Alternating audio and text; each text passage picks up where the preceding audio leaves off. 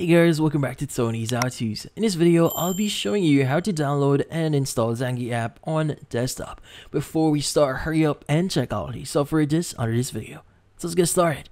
This case, for you to start using Zangi or the Zangi app on your uh, desktop here, we need to do a few things here because the Zangi app itself does not have a desktop version. So we need to actually use a emulator for this one, which is fairly easy to use.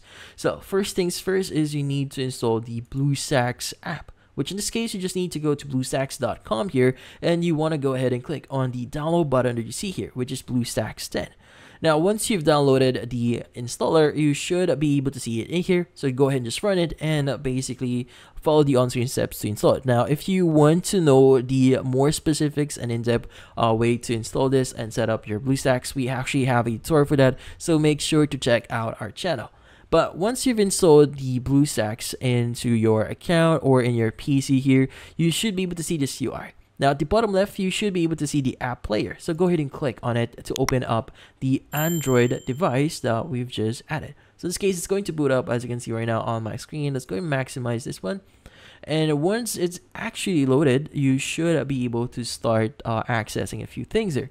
So this case, like any under any Android device there, you need to go to your system apps here and you want to go to Play Store.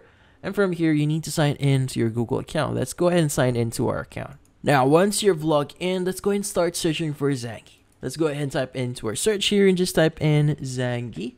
And from here, let's go and search for Zangi app. And from here, let's go and click on install. And once the Zangi private messenger app is installed, you can go and start using it as you would. So let's go and wait for this to fully install. So Zangi has now been installed. Let's go and click on the open button here. And from here, what we need to do is we just need to sign in or register. And from here on, you can go and just do whatever you want, either register or sign in and start using the app itself. And that's about it.